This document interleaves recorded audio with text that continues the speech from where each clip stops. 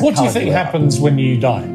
As Bertrand Russell said, I believe that when I die, I shall rot and nothing of my ego shall remain. That's it. Yes. The end. Nothing. There's nothing else.